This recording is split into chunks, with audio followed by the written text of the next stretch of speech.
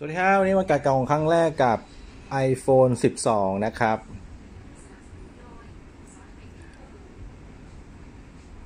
นะครับ ก็ไม่ได้แถมสายชาร์จมาแน่นอน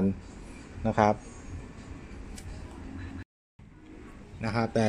ขนาดก็กำลังเหมาะมือนะ อันนี้นะครับ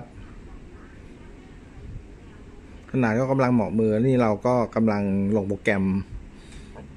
ที่จะย้ายข้อมูลนะครับ ปกติจะใช้ Copy My Data นะนะครับ ย้ายจาก iPhone 8 มา iPhone 12 นะครับ รอบนี้รู้สึกว่าจะไม่ค่อยเวิร์กนะ ก็คงต้องใช้มาตรฐานของเขาคือตัว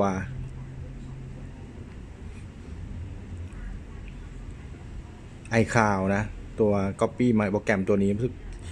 จะย้ายไม่ไหว นะครับแต่ว่า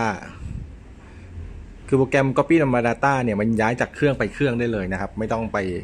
พักบนตัว iCloud นะ มันยิงข้อมูลตรงเครื่องสู่เครื่องเลยนะครับครับแต่ไม่เป็นไรครับ เราก็มีวิธีดั้งเดิมของเขานะ นี่สีขาวสวยนะขาวหรือทองวะเนี่ยลืมละแล้วก็มีวิธีดั้งเดิมของเขานะเป็น iCloud นะครับ นี่ก็พยายามต่อครับไม่ต่อก็ไม่ติดนะ ใครใครลิงก์ได้ก็ลองดูนะ อันนี้ไม่เวิร์กนะนะไม่เป็นไร เราก็ใช้ iCloud แทนนะครับ iCloud ก็สมัคร